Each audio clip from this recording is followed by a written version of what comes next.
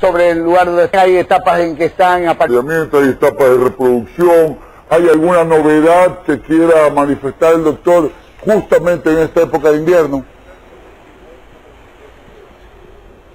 Eh, bueno, sigue igual que en vida silvestre, no hay ningún problema, todo es de lo más natural posible. Oiga, doctor, yo hay animales que justamente sus crías son en invierno o, aves eh, porque ahí proliferan grillos de insectos que en base de su alimentación. En ciertos monos también eh, pasa casi lo mismo.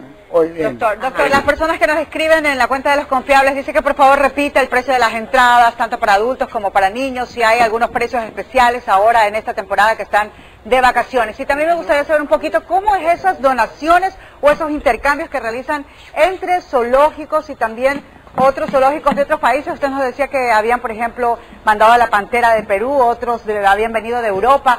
¿Cómo se maneja este, este intercambio o, esta dona, o estas donaciones? Ok, vamos primero por el costo de las entradas, doctor, por favor. El costo, es... el costo es tres los niños y seis los de adultos, tres también personas de la tercera edad, adultos mayores. Eh... ¿Cómo llegan hasta acá los animales? Por ejemplo, la pantera nos decía Berito que llegó desde Perú, es creo lo que usted nos comentaba, o de qué país llegó y cómo llegó a Ecuador.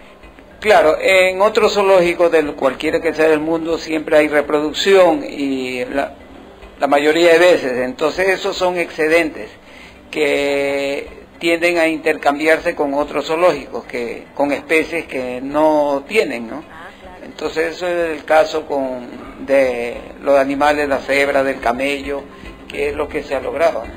Adriana, de pronto eh, también financiar o alimentar a esos animales eh, en cierta forma también se convierte a veces en, una inversión bastante considerable, por eso se necesita que vengan a visitarlos también, para de esta forma también alimentarlos, ¿no? Este es un recurso que se utiliza. Claro, porque alguien que se imagine nomás tiene dos perros o tres perros en su casa y debe saber cuánto le cuesta mantener esos perros, tres.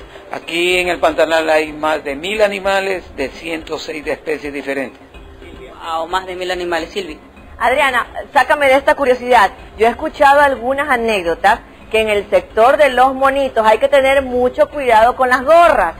Porque me han contado por ahí que a más de uno los, monitos te le han llevado la gorra. ¿Eso es verdad?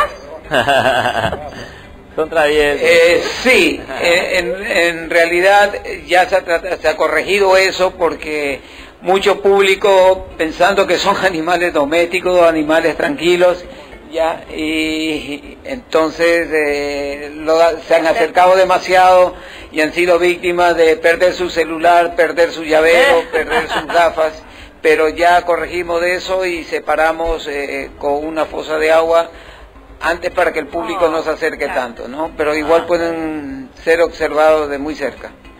Mira tú, qué linda, ¿no? las anécdotas, ¿no? Todo muy bien. Muchísimas gracias. Realmente creo que este no es un tour virtual, es un tour real. Eh, Adriana, la felicito, muchísimas gracias porque nos ha permitido una vez más recordar que tenemos una opción importante para poder visitar este fin de semana y todos los días que nuestros chicos puedan ir y estar en contacto con la naturaleza y con esas más de 106 especies y tantos lindos animales que nos hacen soñar muchas veces con las películas del libro de la selva, con Madagascar, Rey León, no, bueno, aquí las tenemos. Vuelve a la Baticueva, Adriana. La Baticueva, Adriana Valiente.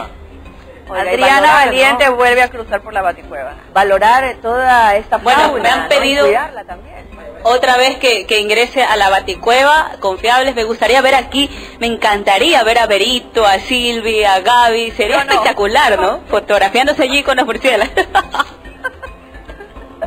qué susto. O sea, a mí los grillos me hacen estar corriendo, no quiero imaginarme con, lo, con los murciélagos. Y con los grillos yo corro. Pero seguro le va a gustar, por ahí Jaimito quiere agarrar a uno también.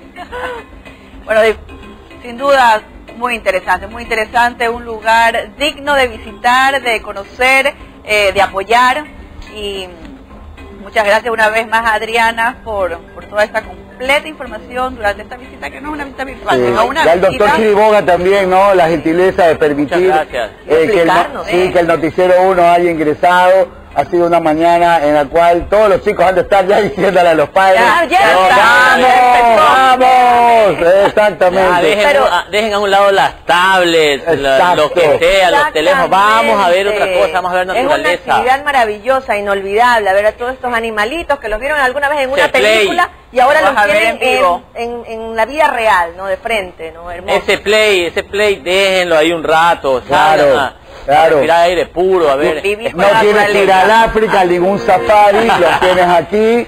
Ya saben ustedes, especies que viven en otros continentes y que por supuesto gracias al recorrido que ha hecho los confiables hemos podido observar. Suricatas, tigres, camellos, cebras, leones, camellos. Sí. Y por supuesto nuestro majestuoso jaguar, ¿no?